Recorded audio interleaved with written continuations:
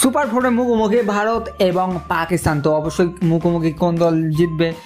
তো ভিডিওটি শেষ পর্যন্ত দেখবেন এবং আমাদের চ্যানেলে আপনিও প্রথমবার আসলে চ্যানেলটিকে সাবস্ক্রাইব করে পাশে থাকা বেলে কিন্তু এখনই ক্লিক করবেন। তার কারণ সুপার ফোর মানে ভাই, প্রথমবার ম্যাচ হয়েছে গ্রুপ স্টেজ ম্যাচ এশিয়া কাপের কিন্তু কোনো রেজাল্ট হয়নি বৃষ্টির কারণে। সুপার ফোরের ম্যাচ ভারত বনাম পাকিস্তান, দশই সেপ্টেম্বর রবিবার। ভারতীয় সময় অনুসারে তিনটে থেকে খেলাটি চালু হবে, যেখানে অবশ্যই কেমন ম্যাচ হবে বলার মানে আলাদা করে কিছু বলতে নাই। তাহলে আপনিও কমেন্ট সেটা জানান, ভারত জিতবে নাকি পাকিস্তান জিতবে। যদি হেড টু হেড দেখা যায়, তো এখানে অবশ্যই ভারতীয় দল এগিয়ে পাকিস্তান থেকে।